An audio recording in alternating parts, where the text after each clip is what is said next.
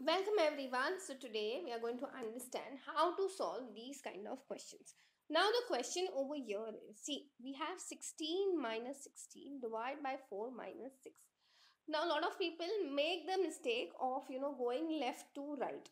Okay, they start with whatever operation they come across first. Now please understand there is something called as BODMAS okay or PEMDAS whatever works for you all okay? It can be BODMAS or PEMDAS.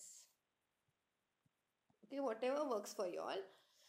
You have to remember that in precision okay in a mathematical operation whenever you come across a bracket the bracket has to be taken as the first priority.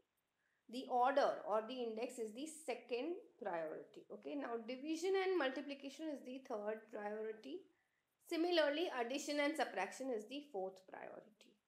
Okay, so now in this case, since we have just subtraction in this at the two extremes, but in middle you have a division. So like I said, division and multiplication will come, will have to be done before addition and subtraction. So for that, we will write 16 minus as it is or rather we will not write minus as it is. I'll just explain this one more time. So we have minus 16 divide by 4 okay? So that can be written as what? Minus 16 this division sign can be changed to multiplication sign. And when you do that the next number the next number which is followed by the division sign has to be written in its reciprocal format. So now what happens is 4 ones are and 4s are. So final answer is what? Minus 4 understood? So here you will write 16 minus 4 and then you will continue to write minus 6 as it is okay? I hope this is very very clear to everyone. Now like i said since there is both the sides there is just subtraction we'll go we'll do 16 minus 4 first. We'll get what? 12 minus 6 so final answer is 6 now the trouble is that many of the people did not understand what is the final answer. They thought the answer is none. But actually the answer is not none. See a lot of people thought either the answer was none or they thought the answer was zero but actually the other answer is not that. Okay the answer is what? I'll tell you it is 3 factorial. Now why 3 factorial?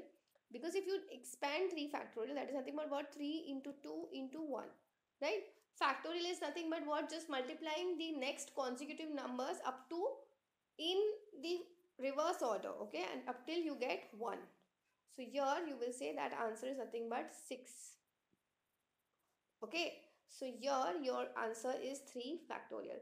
There are times when in test they do give some kind of options in such a way and especially the test which has none option people tend to mark none. You know there are people who would have gotten 6 but they did not realize that 3 factorial is 6. Okay so please pay attention to your options as well. Okay so that's it for today. I will see you in the next video.